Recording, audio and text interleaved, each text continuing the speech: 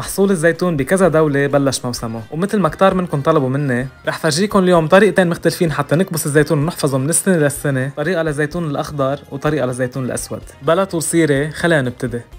رح بلش بالزيتون الأسود عندي كمية من الزيتون الأسود غسلته كتير منيح ورح نحطه بمصفية تحتها فيجات ونرجع نضيف عليه ملح الخشن أو الملح الصخري. ولكل كيلو زيتون بدنا 3 ملاعق كبار من الملح الخشن. بنرجع بنحط عليهم صحن أو وزن ثقيل وبنخليهم مرصوصين لمدة 48 ساعة حتى الزيتون طلع المرار اللي بقلبه.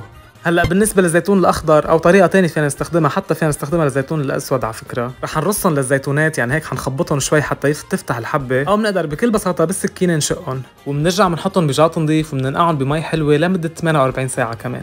ومرة تانية الهدف من هذه الخطوة إن كان بالزيتون الأسود أو بالزيتون الأخضر إنه الزيتون يطلع المرار الموجود بقلبه.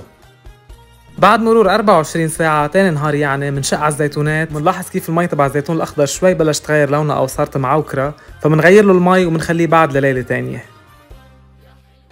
ومنشق كمان على الزيتون الأسود. شوفوا كيف حط عليه أنا كتير تقل حتى عن جد ينرص مزبوط. بنلاحظ كيف بلش ينرص فشو بنعمل نحن بس هيك من قلبه بنعطيه تقليبة خفيفة حتى التقل يرجع يتوزع مزبوط على كل حبات الزيتون. ورح نتركه كمان ليلة تانية حتى يصيروا 48 ساعة. بعد مرور 24 ساعة يعني ثالث نهار رح نفضي الزيتون الأسود بقلب صينية حاطين بقلبها ورقة للمطبخ. تقدر تكون كلينكس سميك أو ورقة زبدة أو شقفة قماش. وبنرجع بنغطيها بنفس الورقة من فوق ورح نخليهم يرتاحوا لمدة ليلة إضافية حتى كل المرار الباقي يطلع. بالنسبة للزيتون الأخضر رح نصفيه من المي اللي بقلبه ونحطه بقلب جاط نظيف وبهيدي المرحلة نضيف عليه الملح الخشن والعيار هو زيته لكل كيلو زيتون 3 ملاعق كبار من الملح الصخري أو الملح الخشن وكمان بنخليهم لتاني نهار.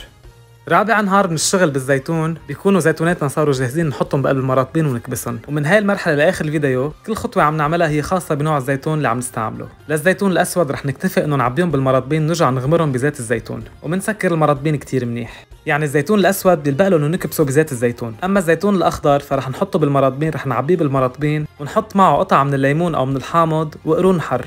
وما نكتر كتير حبات حر حتى ما يطلع زيتون كتير محرحر إلا إذا نحن بنحبه حر زيادة. ومن بعدين رح نرجع نضيف تقريبا نص كوب من عصير الحامض أو الليمون على كل مرطبين والزيتون الأخضر عكس الزيتون الأسود بيلبق له نكبسه بالمي وبنرجع بنحط له طبقة خفيفة من زيت الزيتون على وجهه بس كرمال ما يعفن. وطبعا نتأكد إنه المرضين سكرناهم كتير منيح. لكن بعد مرة عبالي عيد بنقدر نستخدم أي طريقة من الطريقتين اللي شفناهم اليوم للزيتون الأسود أو للزيتون الأخضر ما عدا آخر مرحلة. لأن الزيتون الأسود بيلبق له ينكبس بزيت الزيتون أما الزيتون الأخضر بالمي. وزيتوناتنا لازم نكبسهم مينيموم من ثلاث أسابيع لشهر قبل ما نبلش نقدر ناكلهم. بتمنى أكون قدرت اليوم بسط لكم طريقة الزيتون وكل سنة وأنتم بألف خير وصحتين مسبقا للجميع.